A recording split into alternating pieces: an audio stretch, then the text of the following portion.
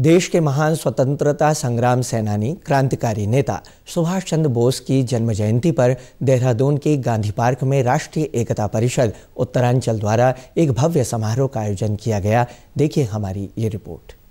दिनांक 23 जनवरी को नेताजी सुभाष चंद्र बोस की 123वीं जयंती के अवसर पर राजधानी देहरादून के गांधी पार्क में राष्ट्रीय एकता परिषद, उत्तरांचल द्वारा जन्म दिवस समारोह कार्यक्रम का आयोजन किया गया।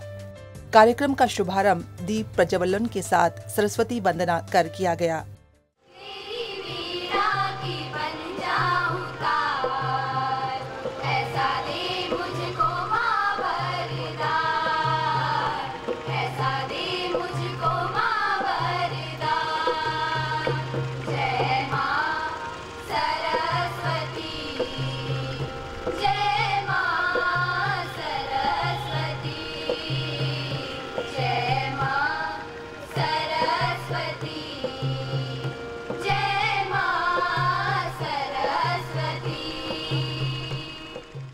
इस अवसर पर कार्यक्रम में मौजूद विशिष्ट अतिथियों को सम्मानित कर स्वागतम गीत प्रस्तुत किया गया।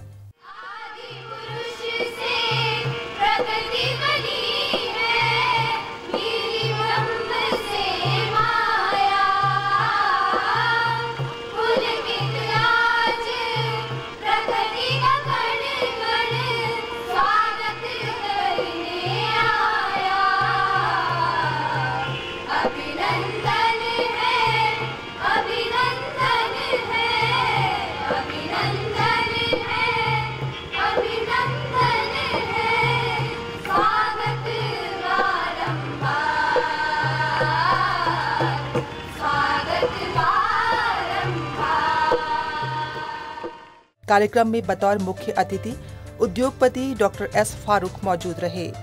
अपने संबोधन में उन्होंने आज़ाद हिंद फौज के महानायक, स्वतंत्रता संग्राम सेनानी, नेताजी सुभाष चंद्र बोस के विचारों से अवगत कराया।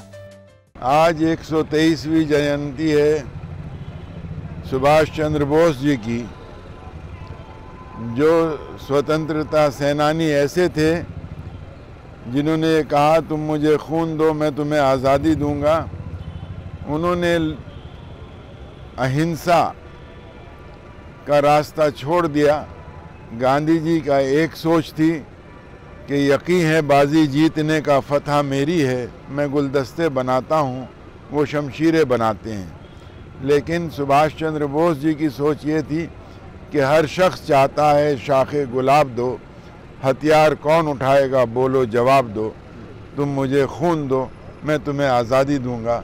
इस तरह से सब लोगों ने मिल के हिंदुस्तान को आज़ाद कराया और आज उसी को हम लोग यहाँ पर मना रहे हैं, उनको याद कर रहे हैं और ये ऐसे लोग अमर रहेंगे।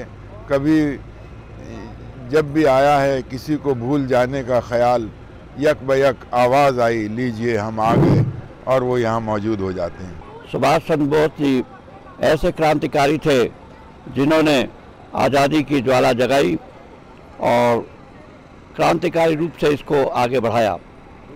महात्मा गांधी जी से वैचारिक मतभेद आए, वो असहयोग आंदोलन नहीं चाहते थे।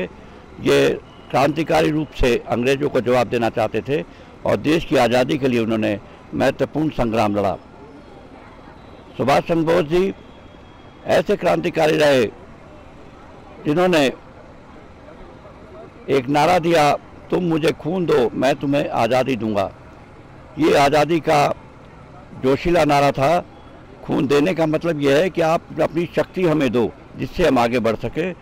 और उनकी क्रांतिकारी आवाज़ से अंग्रेज़ इस बात के लिए बाध्य हो गए कि हमको स्वतंत्र करने के लिए माने और उन्नीस सौ सैंतालीस में हमारे देश को आज़ाद कराया।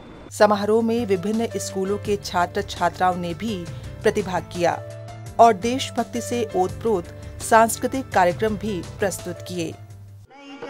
नया सफ़र, कदम मिला के चल।